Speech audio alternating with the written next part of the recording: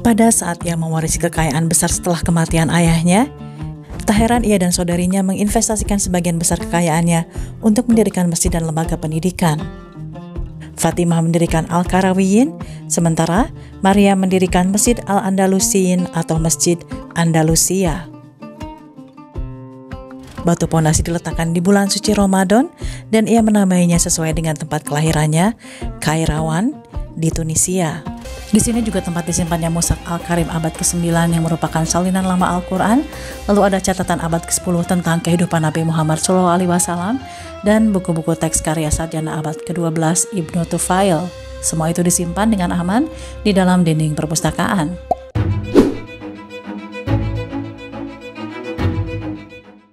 Lebih dari seribu tahun yang lalu ketika Eropa terguncang dari zaman kegelapan, Timur Tengah dan Afrika Utara bersinar dengan cahaya pengetahuan. Di bawah kekhalifahan Abbasiyah pada tahun 750 sampai 1258, seluruh wilayah memiliki suara harapan. Maroko saat itu dengan bangga menjadi rumah bagi budaya dan tradisi yang berbeda. Selama era ini, yang dijuluki zaman keemasan Islam, seorang wanita muda muslim Fatima Al-Fahri mendirikan Universitas Al-Karawiyin.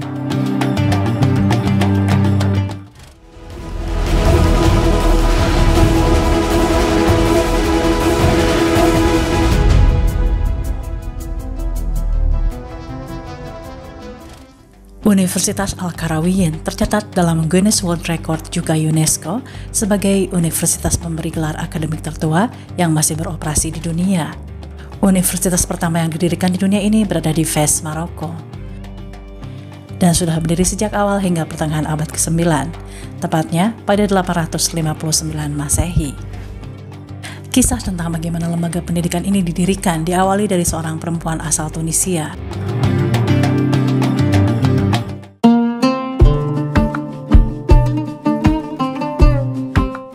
Perempuan yang bernama Fatimah binti Muhammad Al-Fihriya Al-Qurasiyah, juga dikenal dengan nama Fatimah Al-Fihri, merupakan seorang putri seorang pedagang kaya bernama Muhammad bin Abdullah, yang merupakan seorang saudagar terpelajar yang mewariskan kecintaannya belajar kepada anak-anaknya. Ia memastikan mereka ditanamkan pengetahuan fikih dan hadis. Reputasi Fatimah muda ini dibesarkan di kalangan ulama dan pengusaha Fakta ini sendiri membentuk pemikiran, keyakinan, dan keputusannya di masa depan saat mulai bermigrasi dari Tunisia ke Fez, Maroko. Pada saat ia mewarisi kekayaan besar setelah kematian ayahnya, tak heran ia dan saudarinya menginvestasikan sebagian besar kekayaannya untuk mendirikan masjid dan lembaga pendidikan. Fatimah mendirikan Al-Karawiyin, sementara Maria mendirikan Masjid Al-Andalusiyin atau Masjid Andalusia. Fatimah sendiri memulai pembangunan universitas pada tahun 859 setelah membeli sebidang tanah dari suku El Hawara. Batu pondasi diletakkan di bulan suci Ramadan dan ia menamainya sesuai dengan tempat kelahirannya, Kairawan, di Tunisia.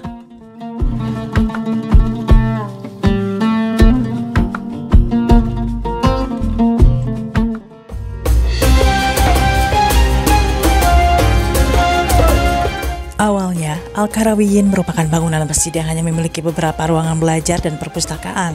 Masjid dan pusat pendidikan ini awalnya hanya berukuran 30 meter persegi.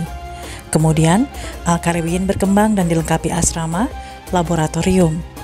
Hebatnya sebagian besar masih berfungsi hingga saat ini. Bahkan interiornya dihiasi dengan ornamen dan isi masjid yang dapat menampung hingga 20.000 orang untuk sholat. Bangunan yang indah ini dipenuhi dengan dekorasi seni Andalusia dan juga kaligrafi kufi. Di abad pertengahan sendiri, Al-Karawiyin berperan penting dalam mediasi kebudayaan dan pengetahuan antara umat Islam dan masyarakat Eropa. Di abad ke-14, 8.000 mahasiswa dari Barat dan Mesir belajar di universitas ini. Tak hanya itu, Al-Karawiyin juga memainkan peran penting bagi penyebaran mazhab Maliki, satu dari empat mazhab besar pemikiran Islam aliran Sunni. Mazhab ini dipelopori oleh Imam Malik ibn Anas dan berkembang di kawasan Afrika Utara. Lalu masjid tersebut lantas menjadi universitas yang banyak menyelenggarakan simposium dan debat. Universitas Al-Karawiyin juga memiliki perpustakaan tertua di dunia yang berisi lebih dari 4.000 manuskrip kuno, termasuk salinan tertua dari Al-Quran, dan karya-karya ilmiah dan sastra klasik seperti karya Ibnu Rusid, Ibnu Arabi, dan Al-Ghazali. Di sini juga tempat disimpannya Musak Al-Karim abad ke-9 yang merupakan salinan lama Al-Quran. Lalu ada catatan abad ke-10 tentang kehidupan Nabi Muhammad SAW dan buku-buku teks karya sarjana abad ke-12 Ibnu Tufail. Semua itu disimpan dengan aman di dalam dinding perpustakaan.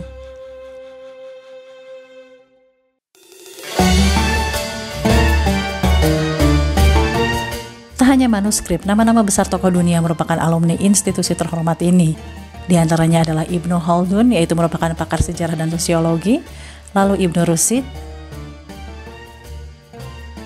Abu Bakar bin Al-Arabi yang merupakan pengarang kitab Ahkamul Quran, dan Yohanes Leo Africanus yang merupakan sejarawan muslim. Namun seiring perkembangan zaman menjadi tempat pembelajaran tata bahasa Arab, kedokteran, astronomi hingga musik dan tasawuf mengundang banyak pelajar tidak hanya dari kalangan muslim tapi juga dari kalangan non-muslim seperti Rabi Yahudi Moses Maimonides yang mempelajari hukum dan filsafat. Dan dari sinilah Moses kabarnya menyusun tafsirannya yang terkenal tentang Misnah. Mahasiswa universitas tak hanya pelajar yang berasal dari Maroko, melainkan dari Afrika Barat dan meluas hingga Asia Tengah.